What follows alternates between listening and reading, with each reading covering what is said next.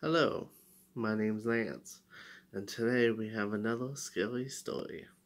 Today's story is called The Man in the Snow. You are home alone and you hear on the news about the profile of a murderer who is on the loose. You go look out your sliding glass doors to your backyard and you notice a man standing out in the snow. He fits the profile of the model exactly, and he's smiling at you.